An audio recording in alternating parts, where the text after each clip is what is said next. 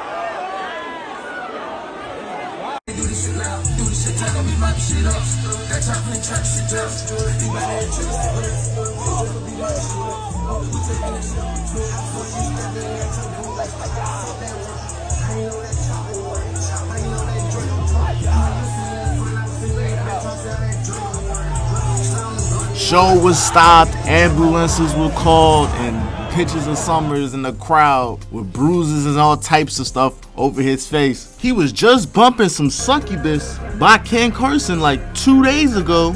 And you know what else is crazy?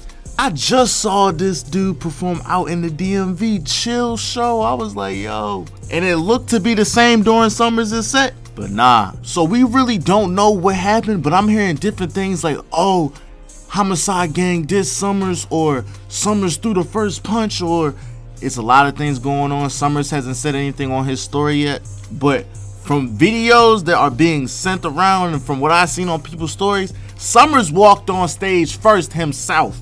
I don't know if they called him out there or something drove him to go out there. People are already clowning right now saying they was fighting for which minors they was gonna take backstage. All we know is right when Beno stepped on stage during that Homixide Gang set, while everyone else was dancing, jumping, that boy Summrs was catching the beats by himself, no one else on stage. Summrs was standing on business, bird business. But right now we're seeing it's up. It's RR and BB versus Homixide Gang and Opium right now. KB, if you seeing this, you gotta spin for your brother, bro.